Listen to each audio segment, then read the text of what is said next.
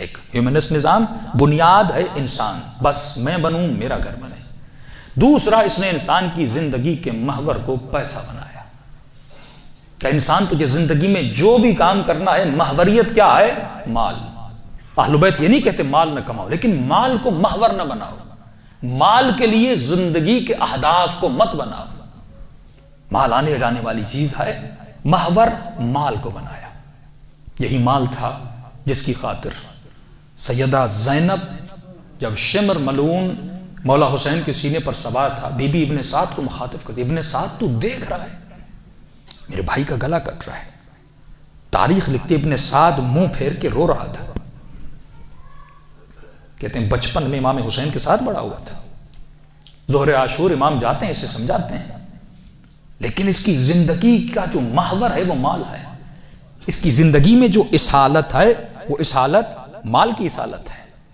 महवरियत माल है। अब माल की खातिर अगर हुसैन शहीद होते हैं तो हो जाए, क्योंकि ज़िंदगी में असल कयामत नहीं थी। ज़िंदगी में असल अल्लाह नहीं था। असल ये था कि मुझे माल मिल जाए और माल की खातिर हुसैन अली को शहीद करवा दिया गया। तो मोमिन, तुझे ये देखना है, तेरी ज़िंदगी का महवर क्या है? जब इस्लाम कहे कि खम्स दो और इमाम रफा के पास लोग आए और कहें, मौला, क्या एक रुखसत मिल सकती है हमें खुम से? इमाम फरमाते जो खुम से आउन दीन ना ये हमारे दीन का मददगार है। इसमें हम तुझे कोई रुखसत नहीं दे सकते। यही जितने भी शर्ई मसाइल आपकी ज़िंदगी में वाजिबात आते हैं, यहाँ पर पता चलता है कि मेरे अंदर बरात कितनी है। यहाँ पर तफकीक होता है मोमिन का ईमान कि मोमिन कितना उस इतबा इलाही में अंदर है कि नहीं है। और जितनी इत्तिबा तेरे अंदर है फिर ज्यारत आशूरा की यह दुआ कबूल होती है कहे खुदा मुझे उस इमाम नासिर के लश्कर में शमूलियत देना जो इंतकाम हुसैन इबन अली लेगा। ये सबसे बड़ी दुआ है कि अंबिया रौलिया आदम गिप्ता खा रहे थे कि काश में महदी के लश्कर में होता। मौला अली मिंबर पे बैठ के रो रहे थे। साहबी ने पूछा मौला क्यों? फरमा शौकन ले रोयते।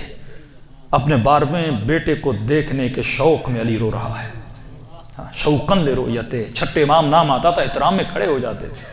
फरमाते थे, ये वो हमारा बेटा है, जो अहदाफ नबूवत और इमामत को पूरा करने आएगा, जो दुनिया में एक निज़ाम लाएगा, जो निज़ाम इस्लाम होगा, जिस निज़ाम में ईसार होगा। अब तुमने तवज्जो की कि सिर्फ़ हुसैन की मजलिस तुझे कौन सा लाइफ स्टाइल सिखाती है?